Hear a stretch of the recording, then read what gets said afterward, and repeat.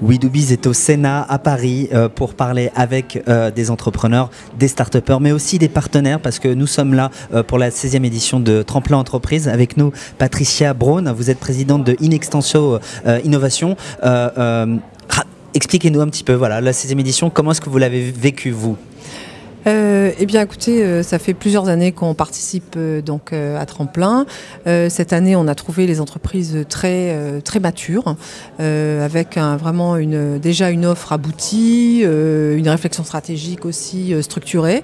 Et donc, on va dire que les, lauréats sont. Vous êtes intervenu plus dans qualité. la moi, je suis intervenu dans, matériaux. Dans, le, dans le secteur matériaux, et donc j'avais un manager qui est aussi du cabinet qui, qui, est, qui intervenait dans le, dans le secteur logiciel effectivement, on a vu des très beaux projets, donc euh, notamment dans le matériau, donc euh, des projets. Euh, Est-ce qu'il y a des projets d'ailleurs qui vous ont davantage plu eh bien, écoutez, oui, oui, on va dire que tout ce que, enfin, moi j'ai bien aimé Pili, qui était, qui est un projet aussi d'avenir, qui utilise des, la coloration à base de, chimie verte, hein, en quelque sorte. Donc, Loma Innovation, bon, qui a eu le Grand Prix, évidemment, on a tous été, on a tous été, comment dire, oui, bah, bluffé voilà, emporté, donc emporté, par, le projet.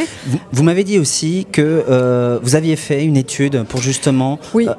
Voilà. Donc euh, on a été en tant que partenaire, donc on a participé euh, à la réalisation d'une étude donc sur les, les cinq années euh, précédentes, donc des 150 lauréats, puisqu'il y a 30 lauréats par an, pour voir un, peu le, résultat, leurs résultats, comment ils ont évolué dans le temps, quelles ont été leurs performances, qu'est-ce qu'ils font comme chiffre d'affaires, etc. Et finalement, on se rend compte que plus de la moitié des lauréats donc arrivent à lever des fonds et pas euh, et assez de façon assez conséquente euh, entre deux, entre 500 et 800 000 euros quand même en moyenne donc ce qui est quand même plutôt euh, ce qui est plutôt ils le lèvent quand dans l'année dans le alors dans les dans les 12 mois qui suivent donc leur leur sortie en tant que lauréat euh, ce qui est intéressant aussi, c'est que finalement, ceux qui lèvent des fonds sont des entreprises qui ont euh, deux ans d'ancienneté en moyenne, ce qui veut dire euh, elles ont créé depuis deux ans, elles ont eu le temps de faire la maturation, d'avoir la preuve de concept, et très vite, donc les, les, les investisseurs sont intéressés. Ce qu'on a, ce qu'on a identifié aussi, c'est qu'il y avait finalement un nombre d'investisseurs assez, qu'il y avait un, foisonnement d'investisseurs quand même de nouveaux fonds. D'accord, oui, c'est ça, parce que c'est de quel investisseur on parle? Ce sont des business angels, ce sont des VC, sont plutôt des VCs, des VCs qui sont, euh, qui sont en amorçage. Il y a des nouveaux fonds qui, euh, qui sont créés et qui, euh, qui viennent ben, accompagner cette, cet amorçage et en, partenariat d'ailleurs avec des business angels. Hein. Donc il y a une partie qui est, qui, est, financée aussi par les business angels. Donc tous les acteurs de l'innovation, BPI compris, puisque BPI aussi intervient, participent à, à, ben, à, la courbe de croissance, de développement de, de ces startups qui, qui lancent leur, leur technologie sur le marché. Si je comprends bien, ça va mieux, mais j'imagine aussi qu'il doit y avoir euh, des faiblesses, ou en tout cas des, des zones de, de, des marges de progrès. Alors, euh, Dans quoi Alors, ça va mieux, oui, parce qu'il y, y, a des tas d'outils de financement. Euh, le, la partie délicate, c'est toujours la mise sur le marché.